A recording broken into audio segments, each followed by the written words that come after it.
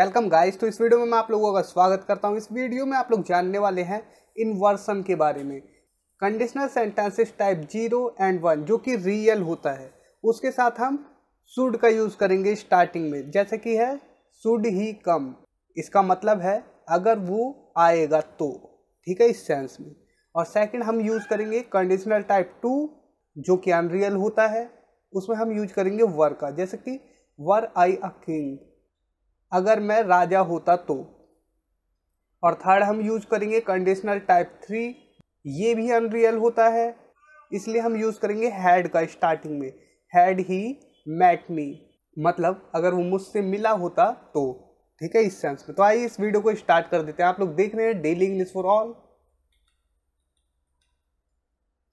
देखिए complete detail inversion conditionals ठीक है कंडीशनल सेंटेंसेस के सभी सभी इन्वर्सन किस प्रकार से होंगे, वो मैं आपको इस वीडियो में बताऊँगा। सभी कंडीशनल सेंटेंसेस के इन्वर्सन मैं आप लोगों को इस वीडियो में पूरा करवा दूँगा। तो देखिए कंडीशनल सेंटेंसेस जो है रियल जो रियल होते हैं ज़ीरो और फ़र्स्ट लेते पहले। देखिए जैसे फ़र्स्ट का एग्ज़ाम्पल है इफ़ उसके बाद हम लगाते हैं प्रजेंट इंडेफिनाइट उसके बाद फ्यूचर इंडेफिनाइट ठीक है? लेकिन हम फ़र्स्ट में मॉडल्स का भी यूज़ करते हैं, संभावना आदि दिखाने के लिए, ठीक है? अगर आप मैच जीत जाओगे तो आपको इनाम मिलेगा। ठीक? या हम कहें, अगर आप मैच जीत जाते हैं तो आपको इनाम मिलेगा। दोनों में से आप गा वाला सेंस समझे, चाहे ता है, ती है, ते है वाला सेंस समझे। आएगा तो प्रजेंट इंडेफिनाइट ही। देखिए if you win the match you will get a reward ठीक है? If you win the match you will get a reward एक तो आप इस प्रकार से बना सकते हैं। या आप कह सकते हैं इफ़ की जगह आप सीधा सुड लगा सकते हैं रियल वाले कंडीशन में, ठीक है? जो भी रियल होगा, ठीक है? कंडीशनल सेंटेंसेस में जो भी रियल होगा, उसमें आप सुड का यूज़ कर सकते हैं। जैसे कि should you win the match अगर आप मैच जीतते हैं you will get a reward आपको एक इनाम मिलेगा, पुरस्कार मिलेगा, इस प्रकार से, ठीक है?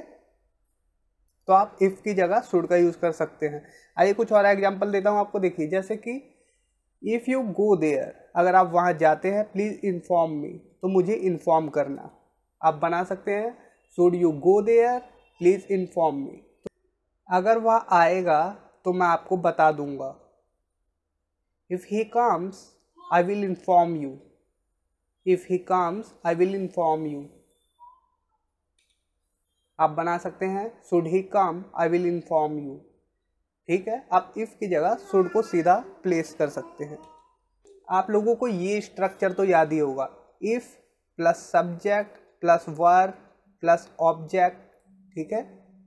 और उसके बाद जो रिज़ल्ट क्लॉज है, उसमें सब्जेक्ट वुड वर्ब की फ़र्स्ट फॉर्म और अदर वर्ड्स ये क्या होते हैं? ये स्ट्रक्चर अनरियल होता है। इससे कंडीशनल टाइप टू के सेंटेंसेस बनाए जाते हैं, ठीक है? देखिए जैसे अगर मैं उसका दोस्त होता तो मैं उसकी मदद करता। If I were his friend I would help him आप इसे बना सकते हैं, इस स्ट्रक्चर से। वर फिर सब्जेक्ट फिर ऑब्जेक्ट फिर कोमा लगाएँगे। उसके बाद सब्जेक्ट वुड वर्ब की first form and other words जैसे है were I his friend I would help him ठीक है? तो आप वर का यूज़ कर सकते हैं स्ट्रक्चर के अनुसार। वर के बाद तुरंत सब्जेक्ट लगाएँगे, ठीक है?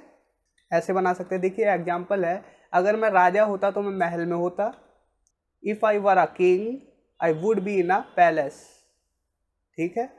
या आप बना सकते हैं were I a king were I a king I would be in a palace तो आप लोग दोनों प्रकार से बना सकते हैं, ठीक है? आप वर का यूज़ कर सकते हैं, लेकिन वर के तुरंत बाद सब्जेक्ट लगाना पड़ेगा, उसके बाद ऑब्जेक्ट, ठीक? जैसे कि अगर मैं एक फ़िल्म स्टार होता तो मेरे बहुत सारे प्रशंसक होते, आप कह सकते हैं if I were a movie star I would have a lot of fans were I a movie star I would have a lot of fans ठीक है? अब देखिए, तीसरा स्ट्रक्चर है if plus subject, plus had, plus verb की third form, plus other word ठीक है? उसके बाद कोमा लगा के subject would have, plus V three, उसके बाद अदर वर्ड्स। ये कंडीशनल टाइप थ्री का स्ट्रक्चर है, जो कि अनरियल होता है, जिसमें हम पछतावा करते हैं कि हमने ये किया होता तो ये होता। ठीक है? इस प्रकार से, जो कि कभी नहीं बदल सकता। जो हो चुका, वो हो चुका।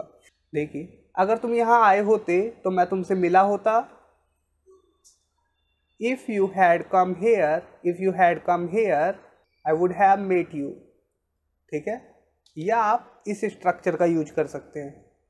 Had plus subject plus verb की third form plus other words और फिर कोमा लगाएँगे, फिर जैसा है, ये वाला स्ट्रक्चर वही। सब्जेक्ट वुड हैव वर्ब की थर्ड फॉर्म फिर अदर वर्ड्स ठीक? Had you come here I would have met you अगर मैं बाज़ार गया होता तो सब्ज़ियाँ खरीद लेता। या खरीद चुका होता, ठीक है? If I had gone to the market I would have bought vegetables ये आप बना सकते हैं। Had I gone to the market I would have bought vegetables अगर वो मुझसे मिला होता तो मैं उसे घर आने के लिए कह देता। अगर वो मुझसे मिला होता, मैं उसे घर आने के लिए कह देता।